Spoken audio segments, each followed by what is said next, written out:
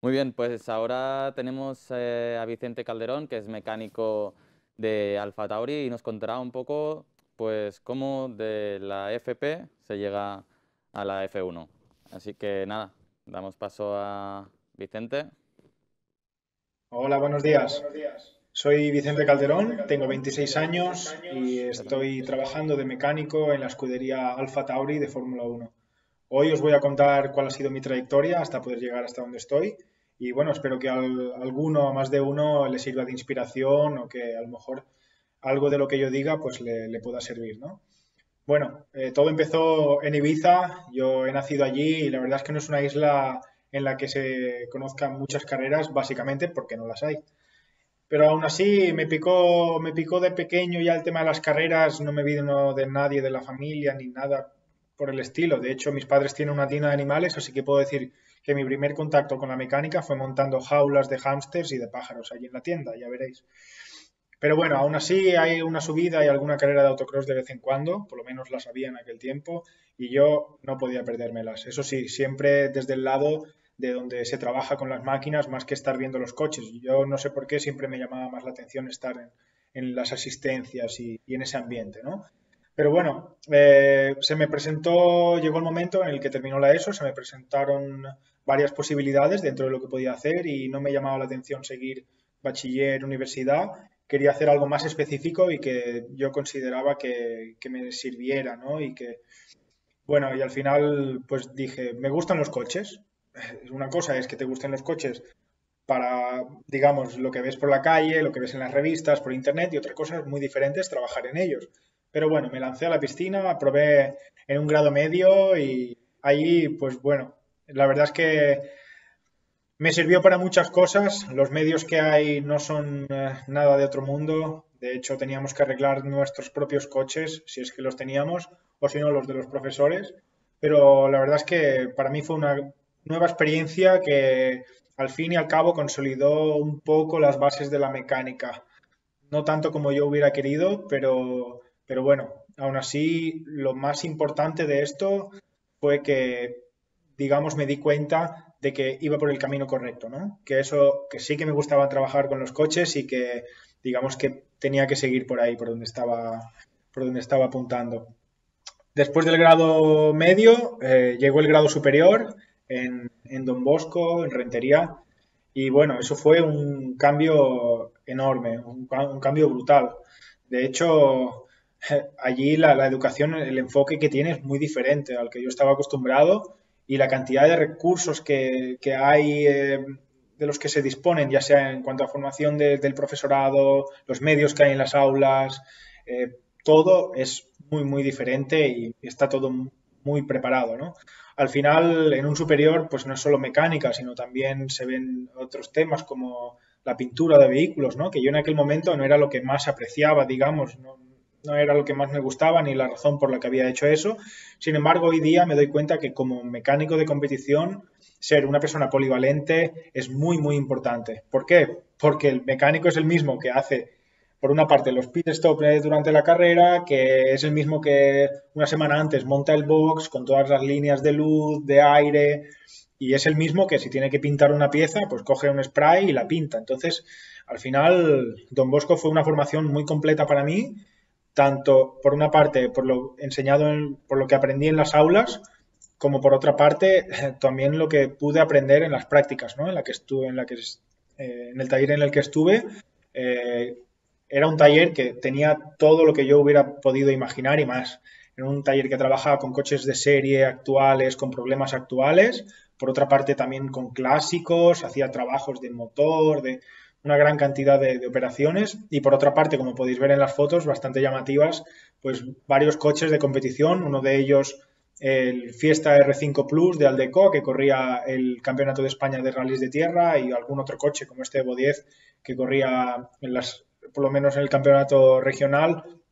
Pero bueno, en, ese, en aquellos momentos yo no estaba en pista trabajando, digamos que yo solo tocaba esos coches en taller no estaba al pie del cañón, pero ya me hizo entender muchas cosas, ¿no? De esos coches, de cómo están, digamos, direccionados, lo que es la mecánica, cómo están hechos esos coches a la hora de trabajar, mucho más pensados eh, en la velocidad de, cada operación y los métodos son muy diferentes, ¿no? Y la verdad es que me, ayudó mucho. Por otra parte, también estaban los proyectos de, de BK, Don Bosco Competicio, que uno de ellos fue la Sheleco Marathon, en la que pudimos desarrollar, poner en marcha y, bueno, ya veis, un prototipo de, fibra de carbono con un motor diésel para poder ir a competir a, Rotterdam, en Holanda. Y, bueno, fue mi primera experiencia en equipo, digamos, ¿no? aprendí muchísimo lo que es trabajar en equipo, eh, las estrategias de, trabajo y por otra parte el nerviosismo de estar en pista, del coche que has hecho tú, irá todo bien, nos quedaremos tirados, muchas cosas que desde luego me picaron el gusanillo a más no poder. Eh, por otra parte, en raíz, a raíz de eso, hice uno de los cursillos intensivos que ofrece DBK, como podéis ver que el que yo hice, ¿no? Con gran cantidad de, cantidad y variedad de máquinas, eh, que fue un cursillo de fin de semana de setup y dinámica. Ese fue mi primer contacto directo con coches de competición y bueno, eh, para mí dije, vale, los coches de calle muy bonitos, sí señor, todo lo que quieras, pero lo mío, lo que me arde por dentro es la competición, así que voy a, tirar por ahí. De hecho, cuando llegué al País Vasco, el hecho de haber casi cada fin de semana una carrera conocí toda Euskadi gracias a las carreras porque, y parte de Francia, porque al final era lo que a mí me apasionaba, ¿no? Entonces no me, no me perdía una y, bueno, fue genial. Después de eso, eh, digamos que me puse a buscar un poco qué otras opciones tenía, ¿no? Siempre dentro de España, qué podía ofrecerme la educación eh, en el campo en el que yo buscaba, que era la competición. Y bueno, vi que habían diferentes escuelas, y al final me decidí por la que yo pensé y sigo pensando que era la mejor, que era Monlau Competición. No sé si habréis oído hablar de ella, una escuela en Barcelona que me abrió aún más eh, las puertas a muchísimas cosas y experiencias y bueno, para mí fue, fue brutal también. El hecho de en la propia escuela poder trabajar con fórmulas, con prototipos, con karts, con coches de, con turismos, con GTs, con coches de rally, para mí me hizo aprender muchísimo, porque al final no te centras solo en un coche, digamos, ¿no? Que así sería la manera para aprenderlo al 100%, digamos. Pero si no llegas a un circuito a correr con ese coche o lo tienes en un equipo, en una nave, nunca aprendes al 100% ese coche. Sino eh, que lo que aprendí, digamos, de Monlau fue por una parte un montón de operaciones genéricas, un montón de procedimientos, un montón de piezas que no existen en los coches de calle, básicamente, ¿no? Para mí, pues, me, hizo eh, sentirme muy preparado para el día de mañana, yo poder, pues, ir a hacer una asistencia a un rally si lo necesitaba, o ir a un circuito, o ir con un niño al, al karting, ¿no? Eso por una parte, lo que es la formación en el aula, por otra parte, lo que son las prácticas. Yo la verdad es que os tengo que decir ya que creo que he sido el alumno que más ha aprovechado las prácticas que ofrece Monlau. De hecho, había gente en Monlau que solo se apuntaba, solo hacía la escuela para recibir esas prácticas y usarlas como puente al mundo de la competición, porque no todo el mundo tiene ningún amigo ni ningún familiar que esté metido en este mundillo. Entonces necesitan de, contactos como en este caso el Monlau, ¿no? de hecho, ese era mi caso. Y bueno, ya veis que, no me fue del todo mal. El primer, año, el primer año estuve trabajando con estos coches, los dos Renault, el RS01 y los World Series. En esa época ya había terminado el campeonato, entonces no pude hacer ninguna carrera. Sin embargo, algunos test sí que, sí que hicimos y, una pasada trabajar con esos coches, ¿no? Por otra parte, con el Cupra León TCR sí que pude trabajar bastante con él. De hecho, hicimos el Campeonato de España de Resistencia. Yo trabajaba en el coche rosa y hicimos bastante buenos resultados. Y por otras partes, por otra parte, otras carreras como son las 24 horas de Barcelona, ¿no? Que veis aquí, yo soy el de la derecha que estaba haciendo eh, el refueling. Bueno, la verdad es que no solo hice eso, sino que aproveché un montón todas las prácticas que iban saliendo, las prácticas puntuales de un fin de semana que llamaban, me metí a hacer rallies, me metí a hacer eh, con fórmulas, me metía con todo lo que encontraba. Ya me veis allí trabajando con varios coches, ¿no? Entre ellos un World Rally Car del 2011 Y, por otra parte, otra de las prácticas más establecidas que tuve fue lo que es el karting. El karting es de fuera, a lo mejor no puede ser muy divertido si uno no lo entiende, pero de dentro tened en cuenta que un mecánico hace de mecánico, de ingeniero, de coach, hace todo, porque un kart lo lleva solo él. Y, eso a nivel de preparación, también para los pilotos es una gran preparación. De hecho, casi todos los pilotos punteros siempre han pasado por el kart alguna vez. Y, para un mecánico eso sí que hace espabilar y, la verdad que para mí me, ayudó mucho, ¿no? Me hizo, pues eso, espabilar, aprender a mover las manos, aprender a pensar, a pensar rápido y, bueno, lo recomiendo por si no lo habéis probado, que, lo, podéis que lo podáis probar sin, sin juzgarlo antes, ¿no? En el segundo año, en cambio, pude hacer eh, prácticas con High Class, un equipo que se encuentra en Barcelona, a 100 metros del circuito de Montmeló. Y bueno, ahora actualmente tienen dos orecas, el MP2, y bueno, estuve haciendo el LMS, lo que sería el Europeo de Resistencia, por una parte. Tuve la suerte, como veis en la foto, de ese año hacer las 24, el año pasado, hacer las 24 horas de Le Mans y también la primera carrera de Silverstone, del WEC, del Mundial de Resistencia. Bueno, ¿qué os voy a decir, no? La carrera de las carreras. En las 24 horas de Le Mans no hay nada que se le pueda comparar. Entonces, al final, una cosa y otra me llevó a donde estoy hoy, a donde estoy hoy en día. Cuando llegué era todavía Toro Rosso, antiguamente había sido Minardi, pero bueno, por motivos de marketing, hoy día es Alfa Tauri. La verdad es que aproveché mucho todo lo que me había ofrecido, bueno, ya sea Monlau, Don Bosco, ¿no? Por la experiencia, por em, a nivel de currículum, todas las prácticas que podía, que había podido hacer hasta ese momento y por otra parte, Monlau tiene, digamos, una formación en lo que es eh, búsqueda activa de trabajo, ¿no? Y en concreto nos hacen hacer un perfil de LinkedIn y el hecho de yo por mi iniciativa eh, estar ahí, actualizar mi perfil, estar pendiente de las publicaciones y, encontrar pues una oferta de trabajo, me hizo dar el paso, ¿no? Y, al final, pues mira, soy el, el único español que entró ese año y no somos muchos aquí, la verdad, pero bueno, y eso que lo ofrecían a mis compañeros, les dije, oye, que hay aquí, que se presenta esta oportunidad, ¿no? No, yo no sé hablar italiano, no, es que yo estoy liado, hay otras cosas para hacer y siempre buscaban excusas y al final eh, me di cuenta de que entre una cosa y otra fui el único que yo me, que me apunté y, y bueno, fui el único que lo conseguí, ¿no? Entonces, Hoy en día me dedico a trabajar en nave, digamos que es el primer escalón que hay dentro del equipo como mecánico. El día de mañana el siguiente paso sería pasar a equipo de test y más allá sería ya directamente el equipo de pista, a trabajar en las carreras. Eh, desempeño lo que son los trabajos de la parte delantera del coche, ya sean trapecios, eh, otros elementos de suspensión como los push rod, las manguetas, y también la parte mecánica del, volante, los pedales y la bomba de freno. El hecho de estar en un equipo pequeño, ya que somos el segundo equipo de Red Bull, pues nos hace más versátiles, ¿no? Más, eh, por ejemplo, si lo comparamos con otros equipos colosos como pueden ser Mercedes, Ferrari o incluso Red Bull, una persona se dedica a una pieza. O sea, las manguetas solo las hace el mismo tío todo el año. Los trapecios los hace otro tío todo el año. Y bueno, al final yo creo que es mucho más entretenido como lo hacemos nosotros, como lo hago yo, pero también conlleva mucha más responsabilidad, ¿no? Hasta ahora lo llevo bien, ya llevo más de un añito por aquí y no he tenido ningún problema hasta ahora y, bueno, estoy muy contento.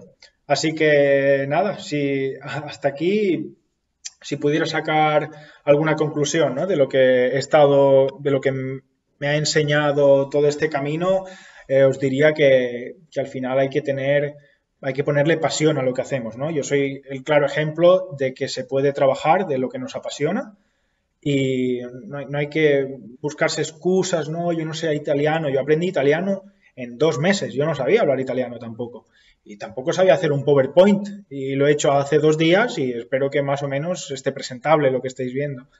Y entonces, no es cuestión de luchar, de martirizarse, es cuestión de ponerse a trabajar. trabajar y trabajar y al final las cosas van viniendo solas. Porque yo tampoco me puse el objetivo de tengo que llegar a la Fórmula 1, tengo que llegar a la Fórmula 1.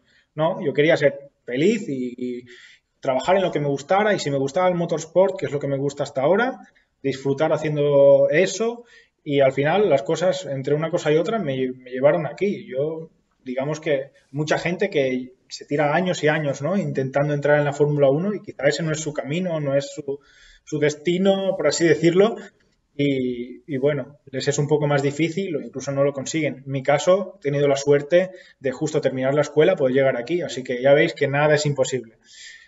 Por otra parte, el hecho de la manera de trabajar, ¿no? En lado, pues ya nos ponían a los alumnos un ranking para, digamos, competir uno con, unos con otros, saber quién sacaba mejores notas.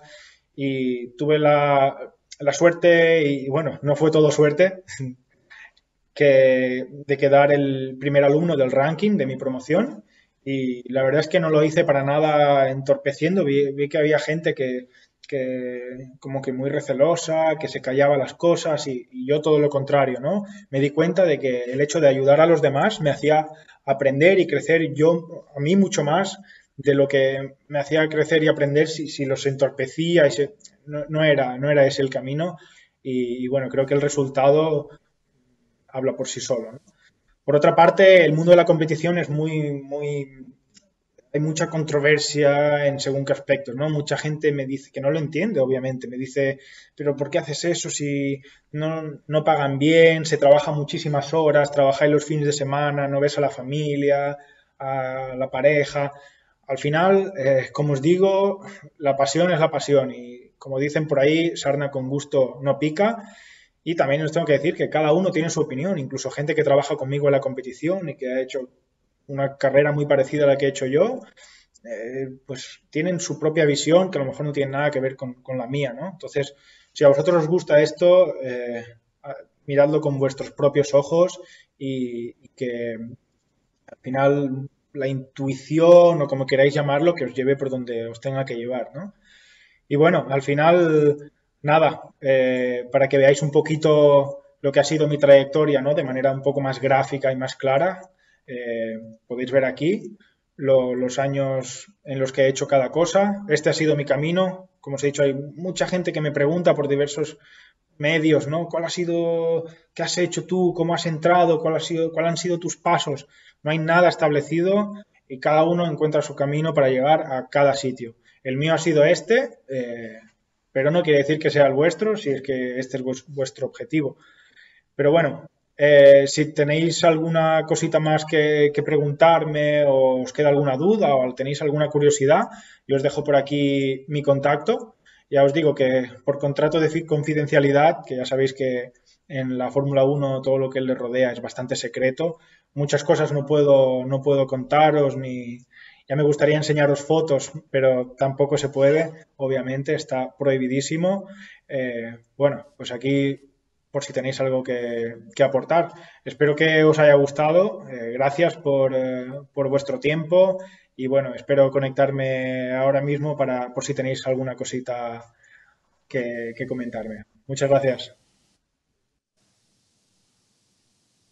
Fenomenal, Vicente. Bueno, Habéis visto, ha sido una experiencia increíble la que nos ha transmitido.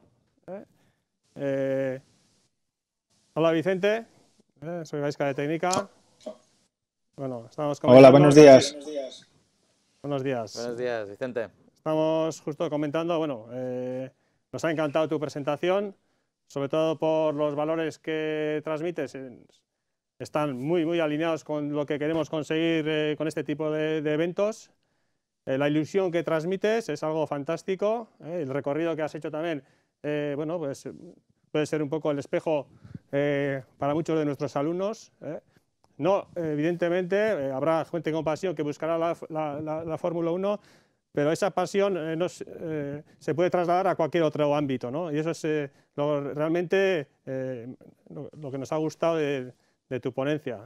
Al final, si, si cada uno de nosotros buscamos un objetivo y realmente eh, vamos a por él, eh, pues evidentemente has demostrado que con pasión se puede conseguir lo que uno quiere. ¿eh? que, de verdad, gracias Vicente, ha sido fantástica la presentación.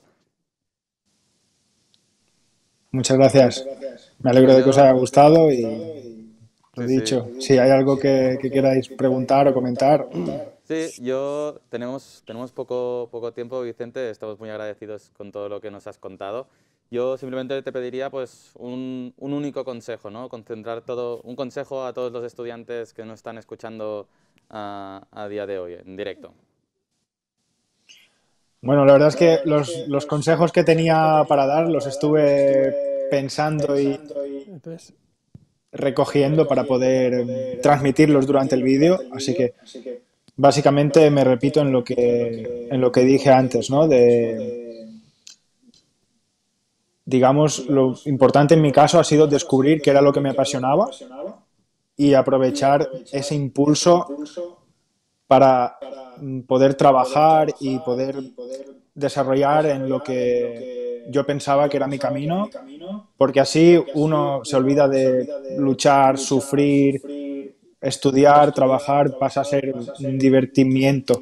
Es, es una pasada trabajar en lo que a uno le gusta y, y bueno, eh, que, los demás ni nadie te, ponga un freno a la hora de, desarrollar el máximo potencial y, y estar, eh, estar siempre abierto y muy atento a las posibilidades que a uno se le, se le presentan, porque en el momento y en el sitio en el que menos uno se lo espera puede encontrar una, una oportunidad que le cambie la vida. ¿no?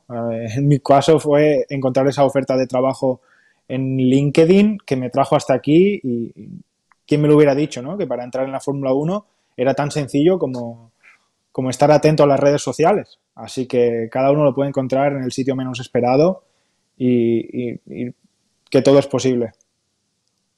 Pues muchas gracias Vicente por tu consejo. Estoy seguro que, que ha encantado a la gente que nos está escuchando. Así que muchísimas gracias una, una, una vez más. Muy bien, muchas gracias a vosotros. Gracias, Vicente. Un abrazo.